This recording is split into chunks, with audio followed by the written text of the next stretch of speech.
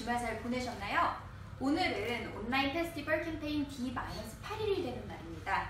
그래서 캠페인의 승패에 직결되는 구매 전환율에 대해서 말씀을 드릴까 하는데요.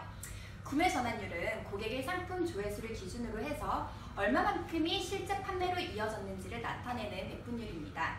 예를 들어서 한 상품에 대해서 10건의 주문이 들어왔다고 가정을 했을 때 이 상품의 조회수가 100번이 되었다면 구매 전환율은 10%가 되는 거죠. store performance의 중요한 지표가 되는 만큼 구매 전환율을 고려하여 캠페인을 준비한다면 그만큼 효율적으로 sales를 높일 수 있습니다.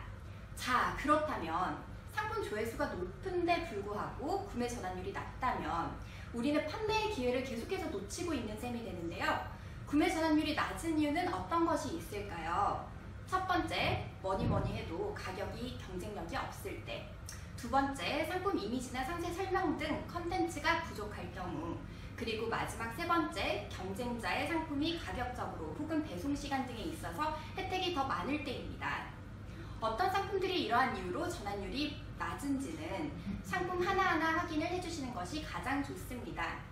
어떤 상품이 구매 전환율이 낮은지 궁금하시다면 지난 비디오에서 말씀드렸던 seller센터 분석 포털로 들어가셔서 바로 확인을 해주시면 됩니다.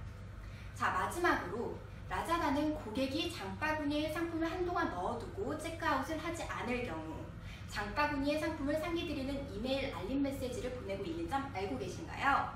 저희 라자다에서도 셀러님들의 구매 전환율을 높이기 위해서 고객에게 마지막까지 푸시를 하고 있는 점 다시 한번 알려드립니다. 자, 구매 전환율에 대해서 더 자세히 알고 싶으시다면 라자다 대학교를 찾아주시기 바랍니다. 또한 이 동영상이 도움이 되셨다면 카카오톡 포스팅을 라이크 해 주시는 것도 잊지 마시고요. 이상으로 온라인 페스티벌 D-8일 카운트다운이었습니다. 즐거운 판매 되세요.